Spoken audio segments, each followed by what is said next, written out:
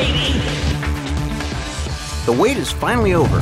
Viewtiful Joe, the crazy retro-style action game that put the joy back in joystick and the roll back in side-scroll, is coming to the PlayStation 2. And not a moment too soon. We just went, look, we want cool characters, we want cool um, enemies, and we want cool gameplay.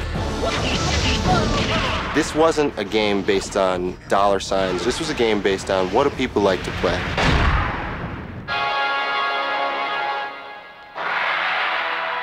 The hugely successful title is built around a pretty straightforward but endlessly enticing storyline.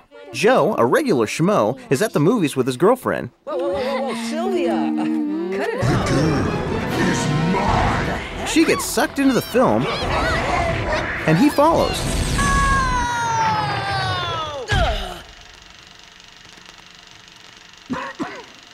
Hey, wait a minute.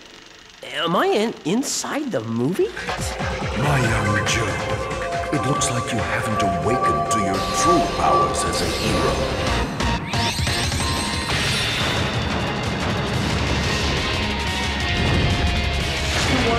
A regular Joe turns superhero off to rescue his girl. The storyline is classic, and so is the interface. It looks like an American comic. Cel shading and side scrolling contribute to the feel you get in a comic book world. People want to play with the feeling that they are a classic hero character.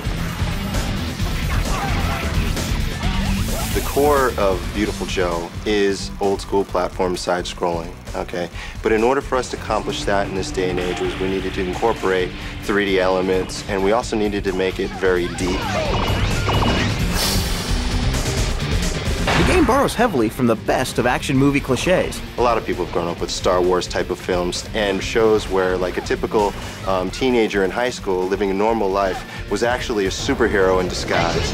Another one, of course, is karate films, action films. For example, there's a move called replay, where just like in an old kung fu film, when somebody gets a really big hit or it's it's the last punch, it shows it from three angles, uh, and you see the bam, bam, bam. One of the effects is slow. That's a power that enables gameplay to slow down.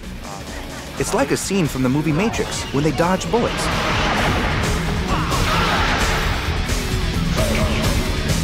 So for those of you that think Viewtiful Joe might be too simplistic, think again.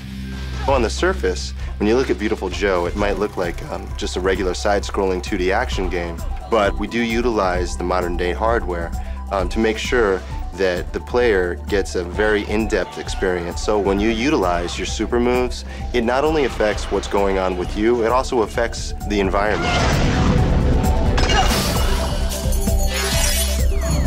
The developers, Capcom, have added some unique features in porting the game to the PlayStation 2 platform. One of the biggest improvements is the addition of Dante. Dante is the main character from Devil May Cry, but his dad was like a demon from back in the day. So he decides to utilize his special powers to defeat evil in the world. When we first released Viewtiful Joe, there's a character, the enemy character named Alastor, who has some uh, tie-ins with Devil May Cry. Because of those crossovers, we figured, okay, what character would make sense putting him in Viewtiful Joe, and what character would be fun to play? Uh, and we chose Dante. If you think that you know Viewtiful Joe to the core, you should try the PlayStation version because the Dante character brings a whole new dynamic. He can utilize his uh, talents from the original game, where he has a double jump, he has a sword that he can throw, and he has his two guns. That, in conjunction with slowdown and speed up, uh, makes Dante a pretty tough customer and pretty fun to play.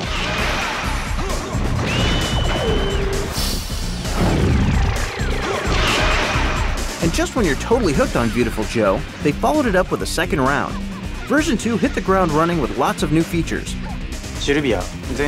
In Viewtiful Joe 1, Sylvia is the heroine, but she comes back as a playable character in Viewtiful Joe 2.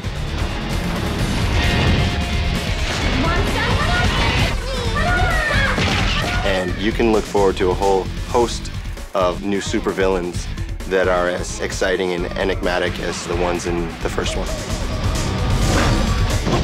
Beyond those teases, the designers of version 2 are being tight-lipped about all it will have to offer, but they are willing to pass along some tips for improved play. You can play through the first level without learning how to dodge the enemy moves, but um, learn how to dodge the enemy moves. It shows you where they're going to attack, and then you dodge the other direction. And if you do that, the whole game dynamics change up because once you dodge them, Then you can push slow, and when you punch them, they become projectiles, and everything changes. A whole new element to the game opens up. So a lot of thought has been put into that type of stuff. But also, characters are likable, the enemies are funny, um, and I like that type of stuff. Like a good cartoon, but hip on the level. Let's get it on! By the end of the game, there's no way that you can't be satisfied if you like playing video games.